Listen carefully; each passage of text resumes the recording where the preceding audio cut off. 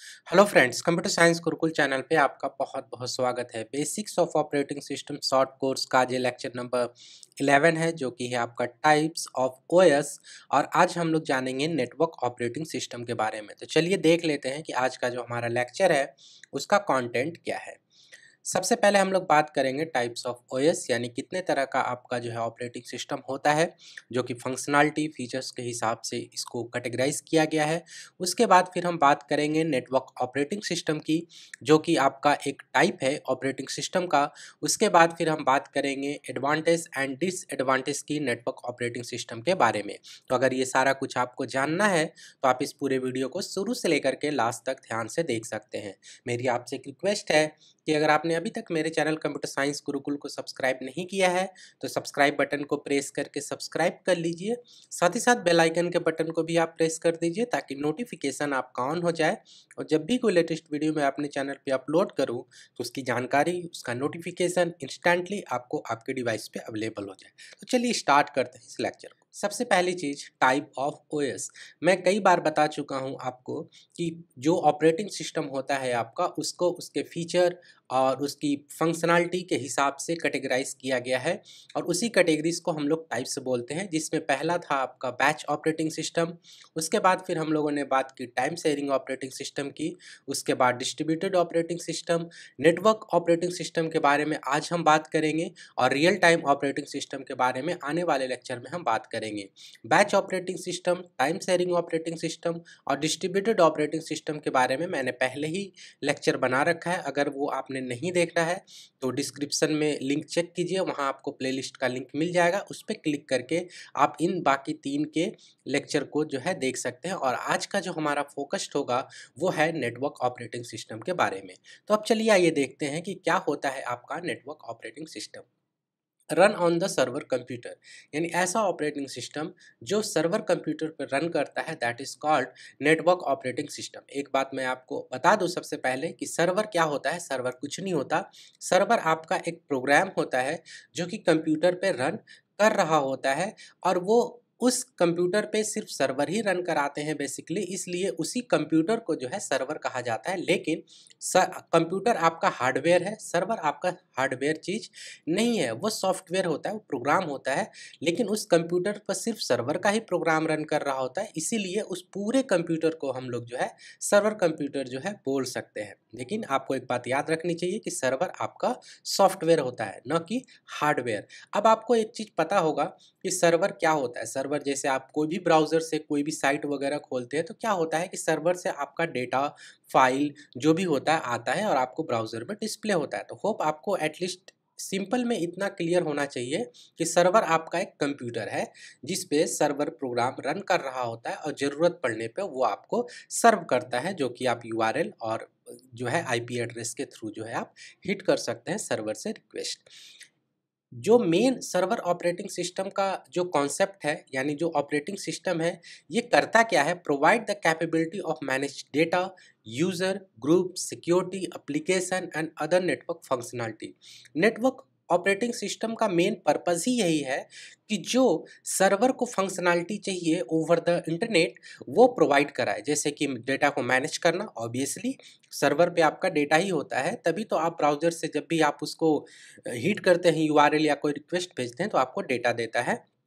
उसके बाद user, group, security application इन सबको मैनेज करता है क्योंकि आपको सर्वर पे लॉगिन करते हैं तो वहाँ पे यूज़र होता है, उनके ग्रुप्स होते हैं। सिक्योरिटी वहाँ होनी चाहिए बिकॉज़ कोई भी हैक कर सकता है सर्वर को अगर सिक्योरिटी नहीं है तो अप्लीकेशन वहाँ पर रन कर रहे होते हैं और बहुत से नेटवर्क फंक्शनैलिटी होती है जो सर्वर को चाहिए होता है और वो नेटवर्क ऑपरेटिंग सिस्टम उस सर्वर को प्रोवाइड कराता है, जो मेन पर्पज़ है। जो मेन मकसद होता है और जो मेन फंक्शनैलिटी है नेटवर्क ऑपरेटिंग सिस्टम की, वो है आपका allow to share file and printer access among multiple computer in network network operating system का मेन पर्पज़ ये है कि फ़ाइल शेयरिंग आसानी से हो सके, प्रिंटर एक्सेस आपका मल्टीपल कंप्यूटर के बीच में हो सके, अगर वो सेम नेटवर्क में बिलोंग करते हो तो।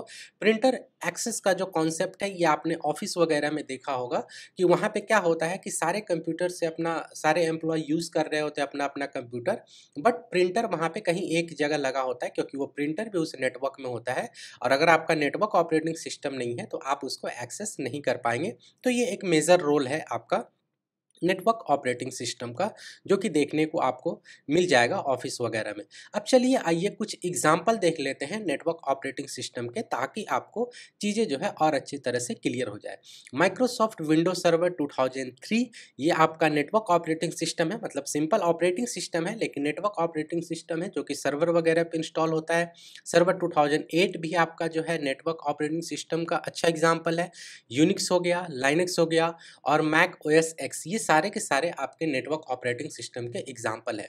और एक चीज़ और मैं बता दूँ आपको कि ज़रूरी नहीं है कि नेटवर्क ऑपरेटिंग सिस्टम है तो वो सर्वर पे ही इंस्टॉल्ड होगा। वो अगर चाहे तो आप अपने लैपटॉप डेस्कटॉप पे भी इंस्टॉल कर सकते हैं और उसको ऐसे ही ईजिली यूज़ कर सकते हैं, लेकिन आप उसकी पूरी फंक्शनैलिटी इस्तेमाल नहीं कर पाएँगे। ये चीज़ अलग है कि आप उसकी पूरी फंक्शनैलिटी इस्तेमाल नहीं करेंगे तो कोई मतलब नहीं बनता है। इसलिए नेटवर्क ऑपरेटिंग सिस्टम को सर्वर वगैरह पे ही इंस्टॉल किया जाता है। चलिए अब आइए कुछ एडवांटेजेस की बात कर लेते हैं, जो नेटवर्क ऑपरेटिंग सिस्टम को आपको देखने को मिलता है। सबसे पहला चीज़ सेंट्रलाइज सर्वर स्टेबल ये एक सेंट्रलाइज सर्वर की बात आती है, जहाँ पे एक जगह आपका ऑपरेटिंग सिस्टम रन कर रहा होता है, सारे प्रोग्राम रन कर रहे होते हैं और सारे यूज़र्स जो है अपने अपने लोकेशन से उसको एक्सेस कर रहे होते हैं। तो सारा कुछ एक सेंट्रल जगह पे होता है तो वो थोड़ा सा स्टेबल होता है ब्रेक डाउन आपके जो है कम होते हैं। एक जगह होने की वजह से सिक्योरिटी को भी ईजिली जो है मैनेज किया जाता है, क्योंकि डिस्ट्रीब्यूटेड नहीं है। तो एक जगह सारी चीज़ें हैं सॉफ्टवेयर और सॉफ्टवेयर और जो भी प्रोग्राम रन कर रहे हो तो उनकी सिक्योरिटी भी आसानी से जो है मैनेज किया जाता है।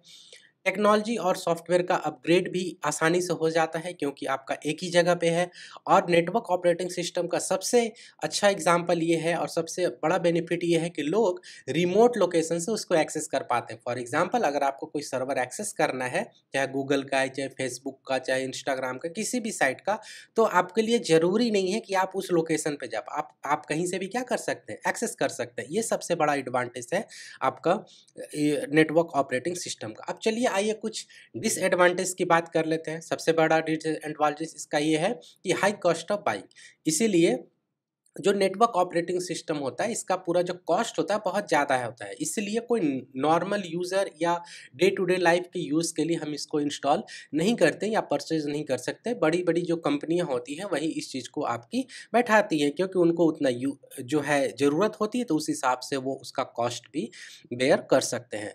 जो नेक्स्ट इसका जो प्रॉब्लम है डिसएडवांटेज वो है कि dependency on central location for most of the operation यानी कि हर एक काम के लिए आपको सेंट्रल लोकेशन पे जो है डिपेंडेंट होता है, होना पड़ता है, ये भी आपका थोड़ा सा डिसएडवांटेज है, लेकिन ये कोई बड़ी बात नहीं है।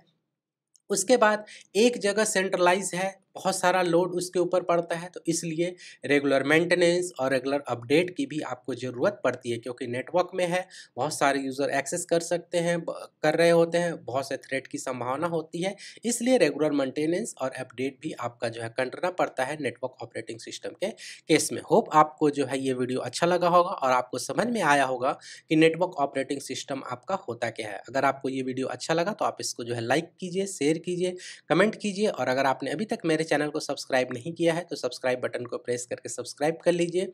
साथ ही साथ बेल आइकन के बटन को भी आप प्रेस कर दीजिए, ताकि नोटिफिकेशन आपका ऑन हो जाए। Thank you for the watching.